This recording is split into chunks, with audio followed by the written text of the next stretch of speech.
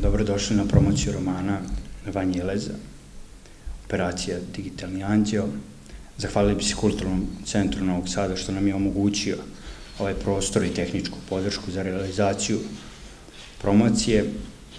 Hvala Vanji što se odazvao pozivu, što je našao vremena nakon mnogo održanih promocija širom Bosne i Hercegovine da održi promociju svog romana Prvenca u Srbiji, u gradu Novom Sadu, u kojem poslednje koliko vanje godina? Pa od, od nove godine sam. Od nove godine živi. Sam rođen i novosađen. Tako je. A, Vanja će vam se u uvodnom dijelu obratiti.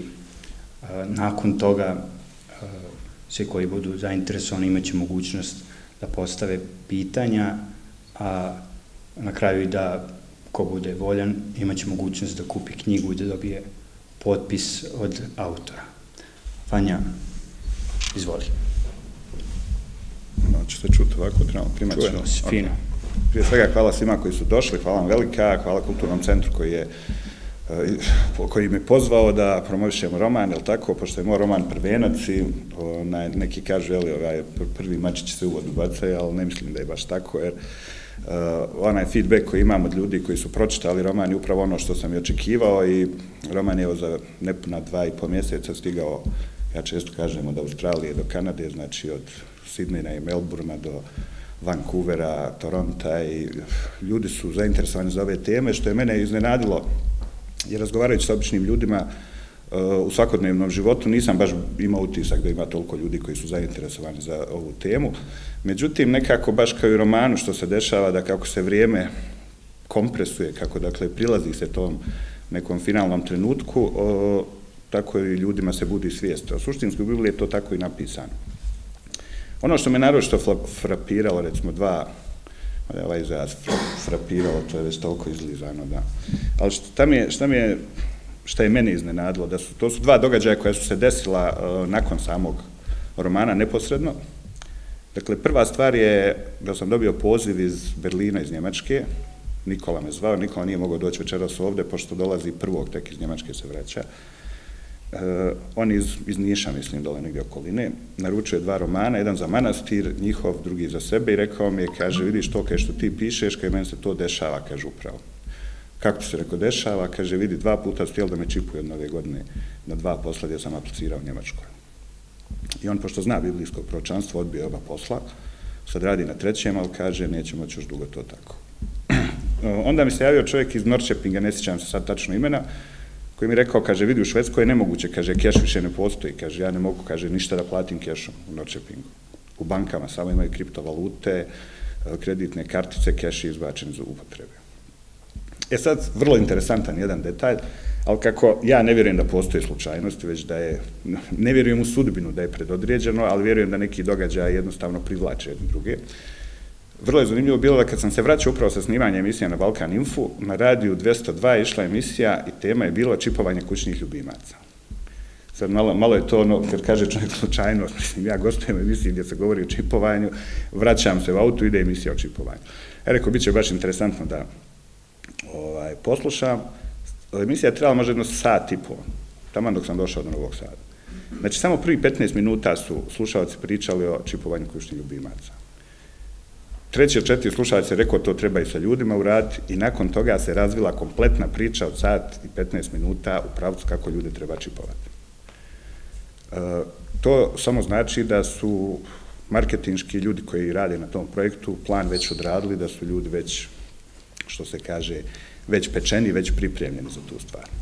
Ali da se vratimo malo na sam roman, dakle, kako je došlo do pisanja romana. Inače, par puta sam ja pokušavao da napišem nešto u životu i onaj, pita, pita me dosta često će li biti nastavak romana. Rekao, najvjerovatnije će biti pred roman, onaj, zato što ima jedna predpriča koja treba da se desi prije ove ovde. Ovaj, ako budem pisao, jer imam, suštinski imam neki dogovor onaj, sa, sa Bogom, pošto ja inače vjerujem u Boga, to ste svi koji me pratite, ovaj, vjerovatno znate, a ja svoj pogled na smijet smatram religioznim, nemam nikakav problem s tim da ljudi kažu ti si religiozni fanatik. Ok, ako je tako lakše, jesam.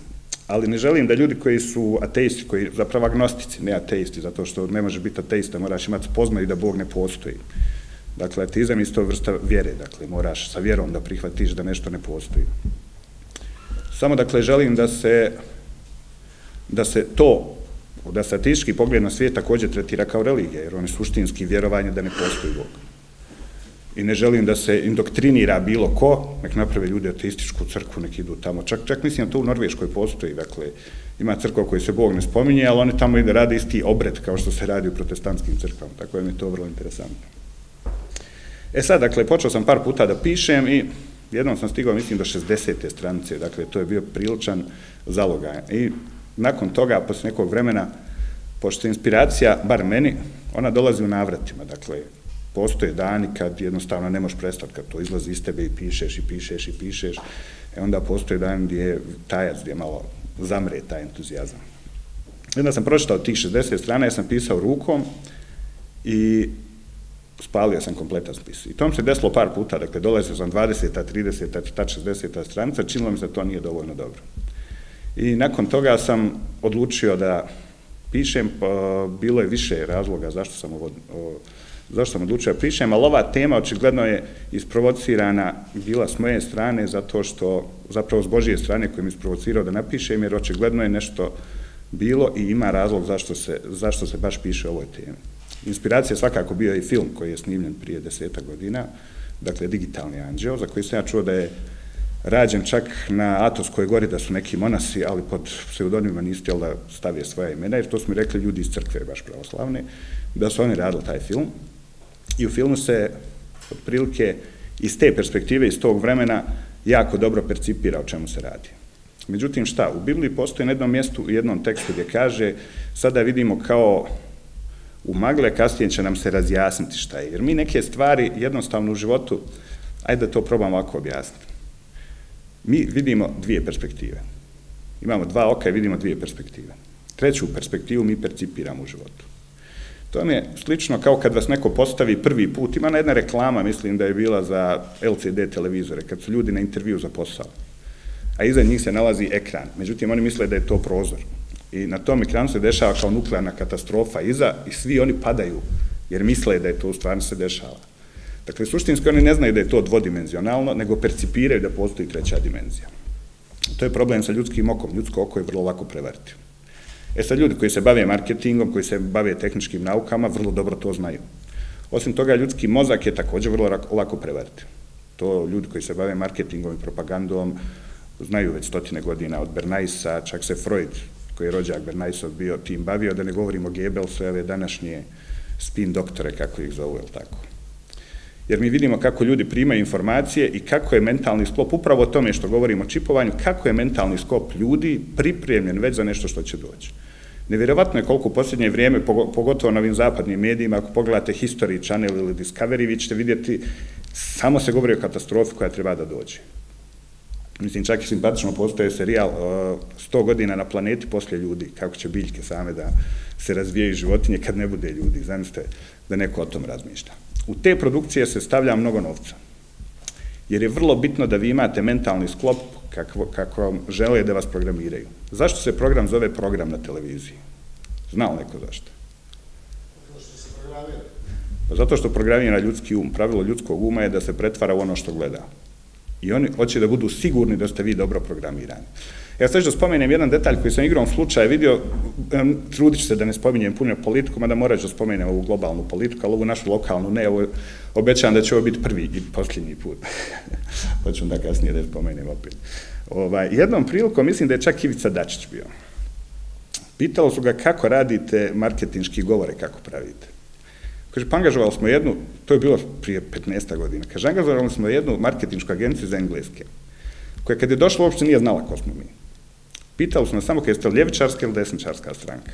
Oni su rekli ljevičarska, kaže ovako, na papiru A4 ima da se spomene, ne znam koliko tačno riječi mora da bude, ali na primjer, radnike morate spomenuti 15 puta, e, penzionere 12 puta i to tačno u određenim e, razmacima. Jer se tako najbolje upisuje u ljudski mozak. Dakle, isti je, e, isti je, dakle, ljudski mozak isto funkcioniše i kod Engleza, i kod Portugalca, Belgijanca, Kineza. Jednostavno, ljudi su se tim bavili dosta dugo i znaju kako se to opisuje. Goebbels je radio, pa ja sam živio u Njemačkoj. Histerija kakva je bila za Hitlerom, to je nešto nevjerovatno. Znači, s ljudima sad kada pričate, oni kažu, mi ne znamo što nas je obuzelo. Jer postoji stara ona priča, jedna, uh, ajde sad moram pred priču za ovo ispričati. Uh, kompletan sistem koji imamo danas, od malih nogu se trudi da vas napravi pojedince, Da niste članovi grupe. Zašto? Jer vrlo je lako sa pojedincem se obračunati. Dakle, vi kad ste pojedinac, imate sad, evo, interesantno ove deložacije koje se dešavaju, dakle, prvo ljudi su uvučeni u kredite prevarom.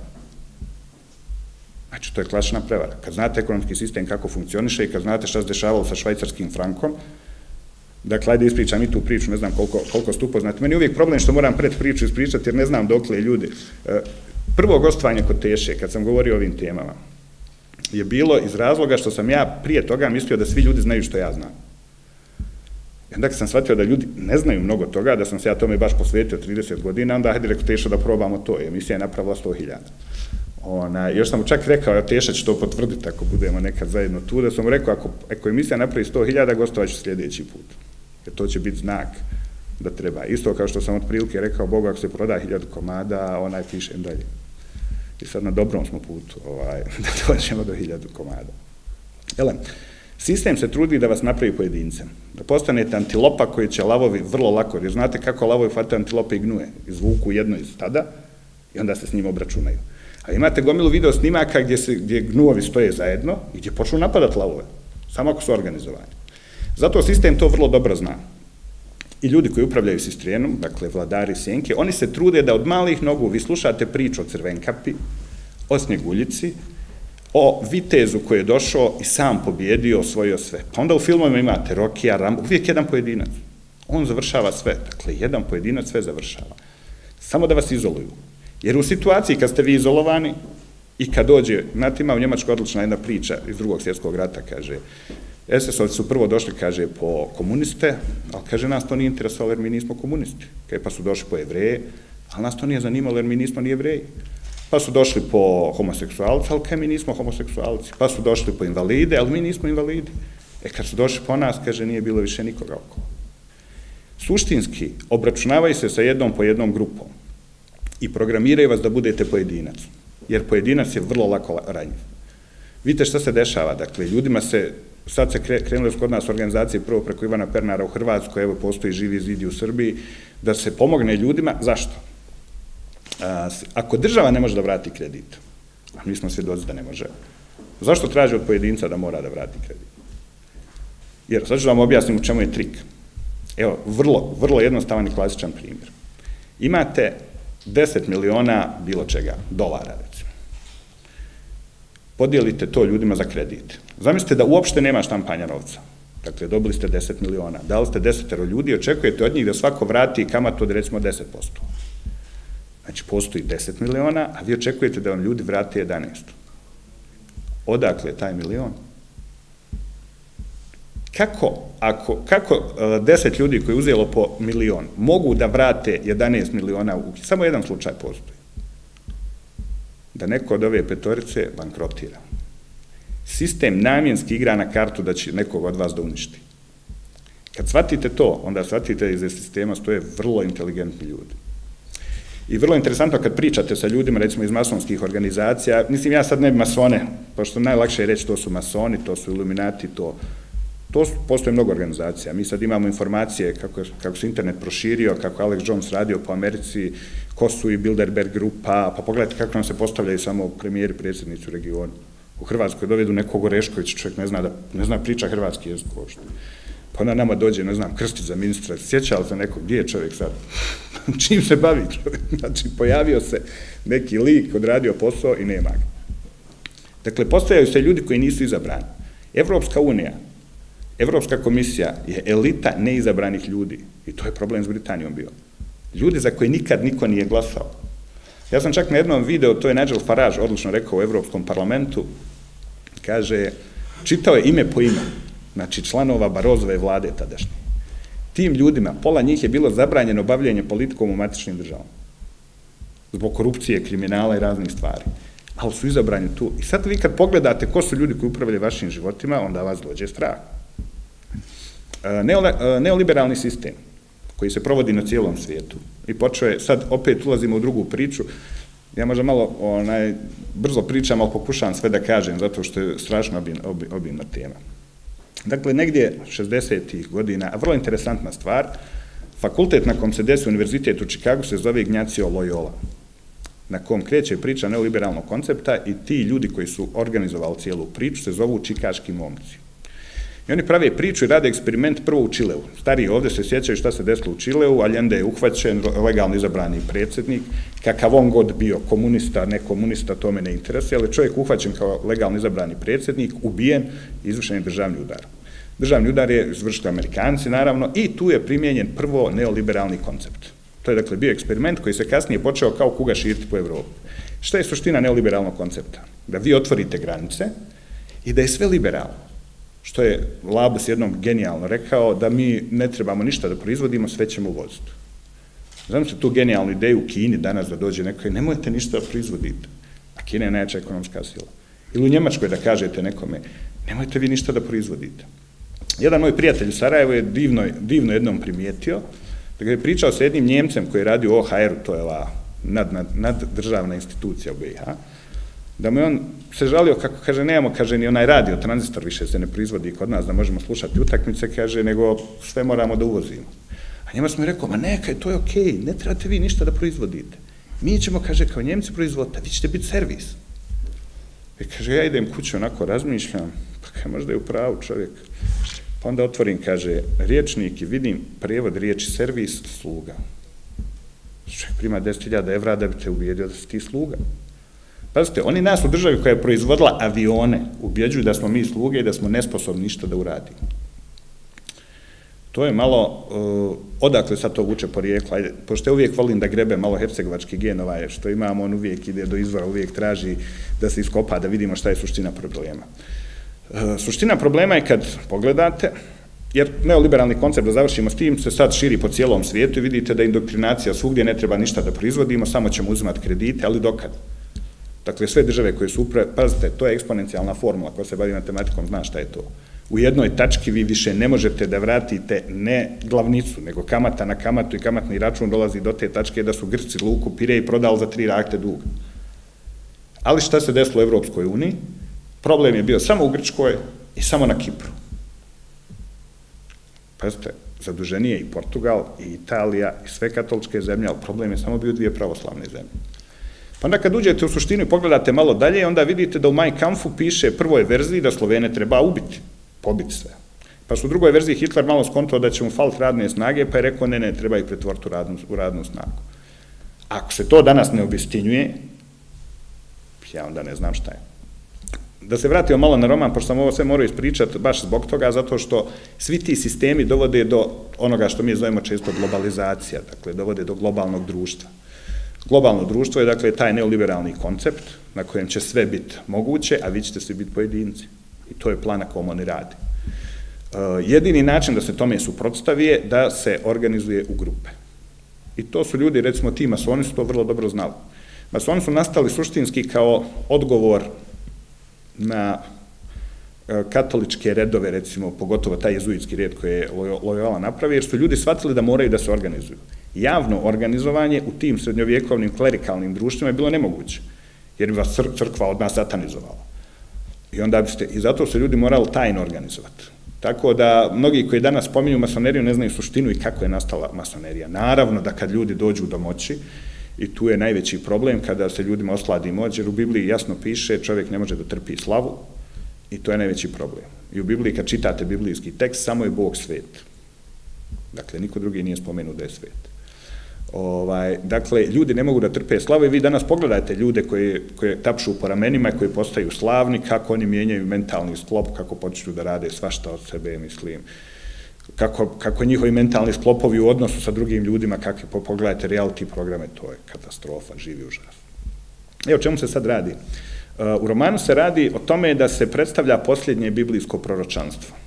Kompletna Biblija, što ja vjerujem da je Božja riječ, i da je tačna od početka do kraja, dakle da je etalon za mjerenje svega, mjerenje putem biblijskih aršina. Jer ako nemate moralni zakon koji je napisan u Bibliji, čak i kad nije napisan u Bibliji, vi ga po, in, po inerciji i po rođenju znate. Ali ako nemate moralni zakon, kako ćete razriješiti šta je dobro, a šta loše? Ko je autoritet da kaže šta je dobro, a šta loše? Da li ćemo uzeti osam u Bin Ladena da bude autoritet šta je dobro, šta je loše? Ne, ako svaki čovjek ima za sebe šta je dobro, šta je loše, onda se desi islamska država gdje ljudi dođu do moći i počnu da sjeku glave na ulicu. Naravno, nije ona spontano nastala, zna se kako je nastala i zna se kako kupi 200 novih džipova koji se dopreme, jel tako, dole bez ikakvih problema. To, to je sasvim jasno. Međutim, ako nema moralnog zakona koji je napisan u Bibliji, onda postoji veliko pitanje kako ćemo odrijeti razlučiti šta je dobro, šta zlo. Možemo mi relativizovati da ne postoje dobro i zlo, ali to u realnom životu ne funkcioniše baš tako, tačko, zato što vidimo da ima puno zla. Mislim, ima i, i dobra, ali vidimo da zlo preovlađuje sigurno u današnjem svijetu. E, samo da završim s neoliberalnim konceptom. Neoliberalni koncept završava u južnoameričkim scenarijima, uličnim ubistvima i mi smo negdje na pred konac tog puta, jer kad kriminalne grupacije se osile, a novca nestane jer vladari senke znaju tačno kad će da ugase priliv novca, onda dolazi do uličnih ubistava. Ali uličnih ubistava na najsvirepije načine kao što je bilo u, Kolin, u Kolumbiji. U Kolumbiji za vrijeme Escobara bila su dva kartela Medulin i Kali i kažu da je bilo 50 ubistava dnevno. Sad zamislite kako su te ulice izgledale tada. Neoliberalni koncept juri u tom smjeru. E, sad da se vratimo, hajde malo na roman, pošto mislim da sam ga malo zapostavio, a to je suština priče. E, u Bibliji postoji samo jedna tačka. Dobro, postoji još jedna tačka, postoji noj potop. Dakle, kad je Bog rekao, e, sad više nema zezanja, sad ide potop. Zašto? Zato što mnogo ste zgriješili i mora da se očisti, neki će reći da se okupa planeta, da se umije planeta. I tada je samo e, njih osmero, dakle, preživilo potop. Vrlo interesantna priča oko potopa je da su dugo vremena pokušavali da ga negiraju. Dan danas vi imate u nauci pokuša, pokušaje da se negira potop. Međutim, vrlo interesantno je da od Južne Amerike, Meksika, Sjeverne Amerike, Indijanci, eh, Japanci, u Japanu se eh, u legendama on zove Nuhi, no je, naravno, plovio je u tradicionalnom japanskom brodu. U Meksiku se zove Cox Cox, naravno, plovio u kanu. I u svakom dijelu svijeta, preko 700 legendi postoji koje pričaju potpuno istu priču. Čak u kineskom alfabetu kažu da znak za, eh, za potop ili, ili za veliku vodu predstavlja otprilike osam duša koji se nalaze u jednoj uh, E, kao barci. Dakle, vrlo interesantna priča. E, potop je, dakle, bio ta tačka, a druga tačka u kojoj se svijet dijeli i gdje nema, e, dakle, baš kao nožan se povlači crta između dvije grupacije ljudi, je posljednje biblijsko proročanstvo.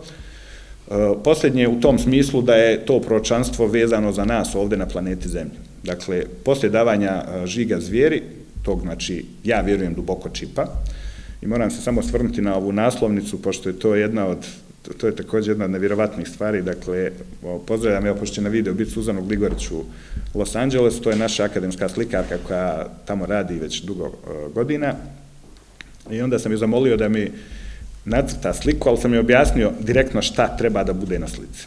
I kad je ona nacrtala sliku, ja nisam prosto mogao da vjerujem da je upravo to bilo ono što sam ja zamislio, dakle, ona je, iz njene ruke su prenijele ono što sam, što sam ja zamislio. E, na slici se nalazi suštinski crkva, e, rećemo zapadna crkva, mada i naša postaje sve više kao zapadna, e, koja na jednoj ruci ima, dakle, ranu Hristovu, a na drugoj ruci bar kod.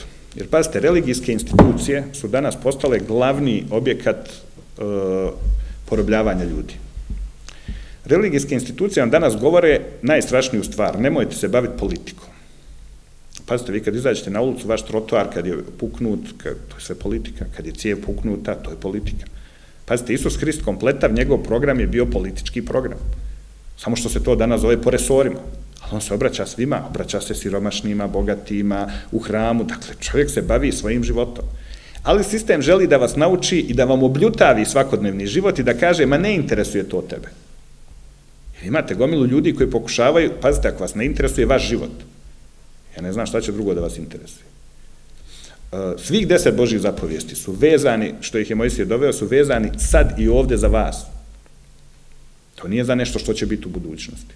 A crkva je upravo kroz ovu priču i relativizaciju toga da je se Božja riječ odnosi na vas danas i ovde i na moralni zakon, pokušala da uvede neke, pogotovo ta zapadna katolička crkva, da uvede neke elemente preko kojih ćete vi postati samo ljuštura, dakle nebitno. I pazite, oni su uveli da su uh, samoj, samo, samom satani, da su toliko pridodali stvari da malte ne, vaš život je nebitan, samo vas satana izaziva. I pazite, ako je samo satana kriv, vi nemate nikakvu odgovornost. Dakle, oni su od vas izuzeli odgovornost. I suštinski, vi kad odete u te crkve, on će vam samo reći dvije stvari. Đavo te iskušava, Isus Hriste brani. A ti ne postojiš. A kad vi pročitate Božje zapovijesti, one se sve odnose na vas sad i ovde. Nije rečeno, nemoj da Hrist u tebi učini grijeh, nego ti ne učini grijeh, ti ne ubij. Znači, sad i ovdje. I suštinski, preko toga, crkva je počela da održava sistem koji postoji. I zato ova slika ovako izgleda. Jer e, prvo hrišćanstvo koje je postojalo prvi 400 godina i Konstantinovo hrišćanstvo su dvije vrlo različite priče. 400. godine e, car Konstantin, e sad nadam se da ovo svi znate da ne moram ulaziti u detalje, svata jednu stvar. Vidite, do pojave Konstantina bio je politeizam. Politeizam je vrlo tolerantan. Dakle, ti imaš pet bogova, ja sedam, to je ukupno 12, odlično. Ti imaš boga mora, ja boga snijega, ne znam kako ko gdje živi, pošto on interesantno je kaže da Eskimi imaju 80 riječi za snijeg, Arapi imaju samo jednu. Ali vjerovatno Arapi imaju 80 riječi za pjesak, a Eskimi nijednu. Zato što nemaju, svako se bavi onim čim ima. Uh, E, suština je toga, dakle, da je e, sistem, sistem je uticao na to da dođe do totalne kontrole. Konstantin shvata jednu stvar. Jedan bog, jedan car. Pošto u to vrijeme dolazi do podjele na Romeju, istočno rimsko carstvo i zapadno rimsko carstvo. I on shvata da time, ako bi bio jedan bog, on bi mogao da bude njegov reprezent na zemlji. Dakle, jedan jedini. I on preuzima jedinu monoteističku dakle, religiju koja je postojala, to je to hrišćanstvo, koje je suštenski bilo jevrejska sekta prvi 400 godina. Jer vidite sad kako je tendenciozno uh, uh, u Bibliji zašto je stvaran antisemitizam. I vrlo bitna stvar, kompletno proročanstvo od početka do kraja se odnosi na jevreje. U posljednjoj knjizi Otkrovijenju se govori o koljenima uh, 12 plemena jevrejskih. Dakle, da bi se ispunilo proročanstvo, jevreji moraju da budu u svojoj postojbini Izraela. Znači, cijelo vrijeme istorije, 2000 godina su ljudi čekali da se desi jel, posljednje proročanstvo, ali pošto jevreji nisu živjeli tamo, nije se moglo desiti jer je vrlo decidno i jasno rečeno. Konstantin, kad to svata, uvodi, dakle, religiju u e, monoteističku religiju, tadašnje hrišćanstvo, ali uvodi sa njim i sve paganske e, kultove koji postoje u Rimskom carstvu. I onda vi imate u onom Vatikanu gore one kipove, ili tako, koji stoje iznad pijace San Paolo, kako se zove, i oni su, dakle, do pojave hrišćanstva su se zvali Mars, Jupiter, dakle, po rimskim bogovima. Kad je hrišćanstvo postalo zvanična religija, oni se od tog dana zovu Ilija, Petar, Pavle, dakle, samo su promijenili imena. Najčešće po o, crkvama, kada se crtao lik Hristov, suštinski je to bio Zevs. I oni uopšte nisu, po nekim e, bazilikama, nisu mijenjali lik uopšte. Ostao je Zevs, stari čovjek sa dugom kosom i dugom bradom, a znamo da Isus imao 33 godine kad je razapet. I šta se dešava? Samo promijenite, od nije Zevs, nego je Isus. Pa, monote, polite, monoteizam je vrlo netolerantan. Ali u vrijeme monoteizma, kad se pojavljuje na cijelom planeti, počinje da se razvija nauka. Jer prva Božja zapovijest, ja sam Bog, nemoj ima drugih bogova, osim mene, ja sam Bog, ljubomoran Bog. To u politeizmu nema, u politeizmu se bore Poseidon i, i ne znam, Apolon, pa ko pobjedi jel, u njihovoj borbi, taj, pa će se ovaj sutra vratiti opet malo da se bori s njim. E sad šta se dešava? E, da bi se stvorio otklon u okviru hrišćanstva od judaizma, pošto vi ne možete jevrejskom rabinu doći pričati šta piše, zato što e, kod jevreja, dakle, vi svake subote idete u sinagogu i slušate e, Toru podijeljenu na 52 dijela. Do 20. godine bar 20 puta ste čuli cijelu Toru. U Americi je statistika rađena da 98% protestantskih hrišćana uopšte ne zna šta piše u Bibliji. Dakle, oni odu u crkvu na indoktrinaciju. Sada ću vam ispričati interesantnu anegdotu, mislim, istiniti događaj. Dakle, u jednom mjestu e, u Bosni i Hercegovini, u Kiseljaku, koji je pretežno katolički bio prije, sad je recimo pola-pola, kaže, dolazi e, sveštenik i poslije mise e, u nedelju, kaže ovako, vidite, kaže, u nedelju su, kaže, izbori. Treba da idete da glasate svi, a zna se tamo moraju svi za HDZ da glasaju. Ali kaže, 30% vas će mora da glasa za SDA. Zato što su, kaže, oni nama dali tamo na Ilič, kaže, neke glasove, pa mi njima mora ovde da vratimo. Znam što čime se pop bavi, sveštenik, čime se bavi posle. A pošto su to takve sredine gdje ako nisi došao u crkvu, odmah ne možeš da budeš. E sad šta, šta je interesantno? Mi ovdje imamo percepciju zapadnog društva u kojem sam ja živio, da je to toliko slobodno društvo, da tamo sve može.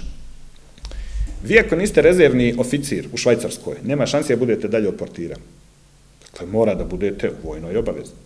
Vi ako se ne pojavljate u katoličkoj protestantskoj crkvi u Njemačkoj, nikad nećete napredovati na jednom poslu. Dakle, vrlo dobro, ali nama se servira, dakle, reality programe. Tamo nema šansi da gledate reality programe u regularno vrijeme po danu. To ne postoji. Vrlo dobro se zna na kojim kanalima, kad, šta smije da se prikazuje. Zato što oni se bave svojim narodom. Međutim, ta kompletna indoktrinacija je dovela do te depopulacije i sad imaju problem. Zašto? Kad živite ateistički taj način života, ne trebaju vam djeca, ne mislite na porodicu, jer zašto? Bog kad se obraća u starom zavjetu, kaže Izraelu, ti si prvenac moj. Uvijek se obraća narodu kompletno. Zašto? Zato što je narod jedino što može da opstane. Vi kad relativizujete narod da ne postoji više, onda on izgubio dušu, on ne postoji. E, oni se vrlo dobro bave tim da imaju nacionalni ponos. Pa ćete da vidite danas kad igra njemačka futbalska reprezentacija gdje nema malte ne ni jedan rođeni njemac, kako oni svi zdušno pjevaju njemačku himnu. Sve jedan je znao. E, roman se dakle bavi posljednjim biblijskim proročanstvom, da se vratim opet na njega. Posljednje biblijsko proročanstvo je dakle to čipovanje, upravo ono o čemu sam govorio, da sve više ljudi na svijetu, da je taj, pazite, prva firma koja je proizvodila čipove, RFID čipove, se e, zvala Digitalni anđeo. Da li slučajno ili ne, ja ne vjerujem da je slučajno. Pošto i za satanu u Bibliji se govori da je pali anđeo. Naravno, odmah su je pobunili e, evangelski hrišćani, jer oni znaju za proročanstvo i firma je promijenila ime ali samo ime, nastavila da se bavi istim poslom. Tako da ćete naići na mnogo firme u Americi koje imaju tako imena Lucent Technology, dakle vezano malo za Lucifera, malo za anđele, neke, sve je ovako malo misteriozno u magli, ali vrlo interesantno. Za djecu program čipovanja se zove čipi. Imate igračke, imate dakle čipija koji je crtani lik i koji je vrlo, i naravno kako ide priča. Priča ide tako da to će biti vrlo dobro za vas. Pazite, u knjizi se spominje eksperiment koji se desio 2002. godine sa prvim čovjekom kiborgom, Kevinom Vorvikom. Otičite na YouTube i pogledajte njegove eksperimente. Ja eksperiment koji sam pisao se nalazi u mojej emisiji, mislim čak da sam radio sa Miroljubom Petrovićem, emisija baš o žigu zvijeri prije deseta godina.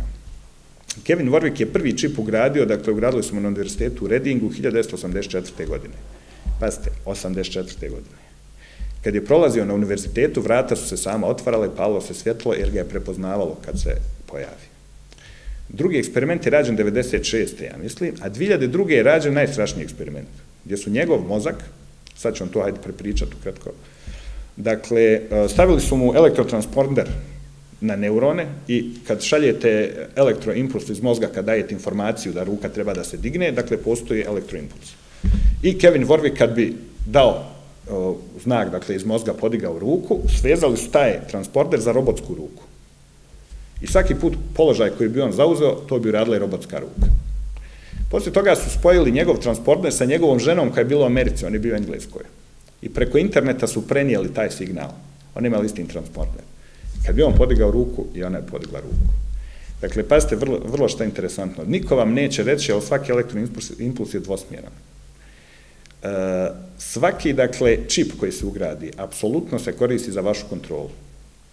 Jer isto kao što vi šaljete iz mozga impuls, tako i vi kad se opržite, impuls iz ruke ide do mozga. Isto tako, dakle, čipovanjem će biti apsolutna kontrola uvedena. I time, e, šta je sad bitno? E, Bog vrlo jasno e, pravi distinkciju između ljudi koji primaju čip i ljudi koji ne primaju čip. Ljudi koji primaju čip, oni ga primaju iz jednog razloga. Sad možda ću biti malo napadan s ovim, ali suštinski je to tako. Uh, u Bosni postoji jedan dobar izraz, i vi ste ga vjerovatno i ovdje svi čuli, hajvan. Hajvan je stoka. Kad se čovjek dovede na nivo hajvana, dakle kad je čovjek stoka, stoka se žigoše, da se znači jaje. Kad se čovjek dovede na nivo use, nase i podase, bez odnosa s Bogom, bez moralnog zakona, evo čak da izbacimo možda i Boga iz priče, bez moralnog zakona, onda on postaje hajvan. Jer to je jedino što nas razlikuje od životinja, naš odnos s Bogom. U tom trenutku će Bog da dopusti, Bog će da dopusti da se ljudi žigošu. Kad se ljudi žigošu, oni više nisu ljudi formalno u tom obliku. To su dakle roboti. E, slična priča, ovo je vrlo dobro ispričano u filmu, filmu Matrix, ali samo u prvom dijelu, pošto drugi i treći dio su radili u komercijalne svrhe, kada neko kaže da su snimali dva firma, da su snimali drugi treći dio uporedo, to je onda strašno. E, kom, e, dakle, kompletna priča se dešava dakle, do tog dijela. U tom trenutku, kad krene sa čipovanjem, tu je dakle, završena istorija. Tu se ljudi određuju na koju će stranu. I bit će vrlo teško vrijeme. Mene što najviše, da kažem, plaši u nekom obliku, je to što piše da će biti nevolja kakva nije bila od nastanka svijeta. Pazite, bio je, bila inkvizicija, bio je holokaust, bio je svjetski rat, a ovo je teže od toga. I ja lično mislim da se radi o duhovnoj borbi, ne toliko fizičkoj, da se baš radi o duhovnoj borbi. Priča ispričana uh, kroz, da ne bi bila suhoparna teologija, pošto su mi, par ljudi mi je reklo da sam trebao da trebao da pišem onaj mnogo uh, više teološki, ali to ne bi razumilo 90% ljudi. A ja sam htio da knjiga bude uh, dostupna i da bude široko prihvaćena, da je mogu pročitati ljudi koji nisu teološki obrazovani. I zato glavni light motiv cijele priče je ljubavna priča između Davida i Ane. Uh, zašto David? David je jedna vrlo specijalna osoba u istoriji, staro, starozavjetnoj. Dakle, David je osoba koja, e sad, kako, kako, kako nas ljudi procjenjuju, kako nas naši najbliži procjenjuju? Prorok Samuilo, Boga šalje i kaže, od cara Saula sam odustao, on se više nije Bogu omiljen, idi, kaže, u porodcu kod e, Jeseja i kaže, naćeš njegov sin, ti je budući car Izraela. I prorok dolazi kod Jeseja, dolazi kućka i gdje su tvoji sinovi? I ovaj dovede sinove, kaže, pa jeste ovo svi sinovi? Nijedan od ovih nije cara. Bog je rekao da je car iz tvoje kuće sin. Ma kaže, ima još jedan, kaže, čuva tamo ovce, ali pa dovedka je tog da vidimo. I dolazi car Izraela. Sad pazite, njegov otac uopšte nije vjerovao da on može da bude car. Sljedeća situacija Davidova je najčuvenija, dakle, bitka koju svijet pamti, do dan danas se spominje, dakle, bitka Davida i Golijata. David dolazi, dakle, dječak od 16 godina i kaže caru, ja ću da izađem i da se borim sa Golijatom, koji je prema onim informacijama koje pišu u Bibliji stop, onim stopama, preko 2.30 bio visok. I svaki dan izlazi i smijavao se vojsci, govorio, ko smije da izađe sa mnom ovaj, na Megdan? I niko nije smijao. I dolazi David do 16 godina. I car Saul mu daje ovu svoju uniformu, kaže, obuci ovo, kaže, meni to ne treba. Zašto? Pa kaj Bog je sa mnom, ja neću da se branim, ja ću da napadam. I sa tom vjerom David izlazi i naravno ubija Golijata. Jedna od najčuvenijih priča i zato je suštinski David glavni lik, jer e, to, to, to, je, to je jedina osoba u Bibliji koja je, nazva, koja je nazvana i za koju je rečeno da je po srcu Božijem. Iako ne postoji, osim Isusa Hrista u Novom Zavjetu, ne postoji osoba u Starom Zavjetu koja nije napravila grijeh. I vi ćete vidjeti za Davida koji je po srcu Božijem da on pravi strašan grijeh. I da na kraju mora da ispašta zbog tog grijeha. Zašto? Upravo zbog toga da bi Bog pokazao da nema perfektnih ljudi. Ali da je bitna naša tendencija da mi hoćemo duhovno da budemo bolji da se izgrađujemo. I onda to Bog nagrađuje. E, ljubavna priča, dakle, dešava se između ostalog i u Novom Sadu, malo i u Sarajevu i malo se dešava i u Njemačkoj i ima tu ovaj, biografskih detalja. Ima još jedna interesantna priča i oni koji su čitali primijetit će dakle, da, zapravo istiniti događaj, to je istiniti događaj. Radi se o Ginteru Levandovskom, kojeg sam ja spomenuo na jednoj tački, to je čovjek koji je živio s nama kad smo došli u Njemačku, dakle čovjek je bio smješten s nama u tom nekom kolektivnom smještaju gdje smo bili prvi par mjeseci i čovjek je naravno kad smo mi došli z Balkana se bojao nas. Čak jednom prijatelju ispalio onaj sprej kompletan u oči jer je mislio da će ga pokrade. Došli neki divljaci s Balkana, on gleda na televiziji, tamo sve gori i čovjek misli da smo... Međutim, vremenom smo se, posle nekih mjesec dana, i mi malo učili njemački, pa smo postali bliži i pričali. I Ginter je, e, jednom smo se, jedno večer smo se šali, nešto uzeli smo neko piće, pa smo se šali često, evo Ginter, taman mislim da je bilo nešto desant na drvar, neko je pročito da je taj dan bila godišnica. E, moj Ginter, ti si išao našeg titu da hvataš, a eto vidiš kako ovo, ono, tuc, muc, malo pomalo, da bi nama Ginter ispričao da on stvarno išao i bio u desantu na drvar. I objasnio odakle je letio, kako su prvo bili pokupljeni u Dortmundu, ja mislim pa u Bihaću, pa su išli iznad drvara, dakle imao sliku čovjek, išao da hvata tipa. A on inače mobilsan, sudetski njemac, koji je mobilsan bio sa 16 godina u Wehrmacht i čitav rat proveo tamo. E sad, nije to ključna priča. Ključno je kako je Ginter u tom najboljem sistemu, kako ga prikazuju kod nas, njemačkom, završio. Posle par mjeseci ja sam već imao svoj stan, radio za Mercedes i idem jedan dan i na Banofu, što bi naši gastarbajteri rekli, na željezničkoj stanici, vidim Gintera u invalidskim kolicima i pitan ga šta radiš tu, pa kaže, izgubio sam smještaj. Kako si izgubio smještaj, ti si penzioner, država ti... Ne, ne, ne, kaže, ukinuli su mi sve. Pa gdje sad živiš? Kaže, živim tu na stanici. I sreo sam ga još par puta i poslije toga je umro. Dakle, skapao oko zadnji ker u tom najboljem, najuređenijem socijalnom društvu na, na svijetu. Čovjek koji se borio, koji je ratovao za njih. Dakle, upravo ono što sam rekao malo prije. Samo je pitanje dana kad će se sistem obrušiti na nekog od vas. I to je, dakle, jedan od tih istinitih događaja.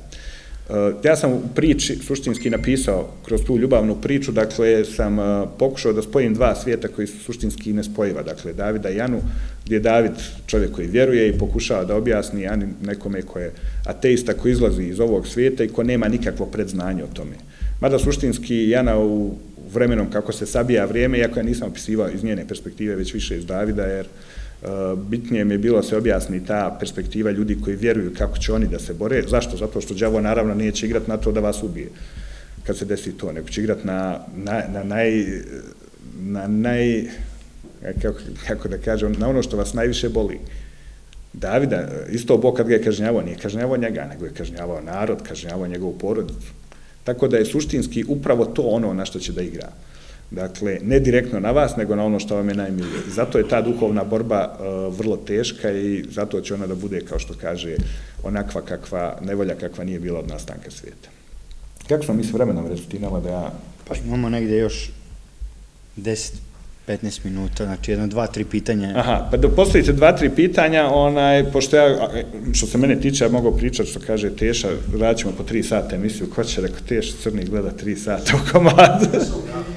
A, Može pa dobro, da... dosta, je, dosta je ljudi odgledalo do kraja. Teša je otišao u kinu, međutim, mi smo već načinalno dogovorili negdje u februaru, kad se on bude vraćao da snimimo opet onaj, neku emisiju, jer evo sad sam gledao, baš danas sam gledao da je druga emisija koja je bila po broju pregleda, sad prestigla u prvu dina 120.000 pregleda, da je vrlo interesantno. Bili smo na sajmu u Beogradu, ja sam ono oduševljen, dakle, sa količinom ljudi, sa kritikama, recimo, evo moram da spomenem, Neleta Karajlića koji mi je dao fantastičnu kritiku i oduševljen sam s tim i povezan s nekim ljudima, pa će sad turneje da idu malo po zapadnoj Evropi, ja se nadam vrlo brzo, jer smo već stupili u kontakt.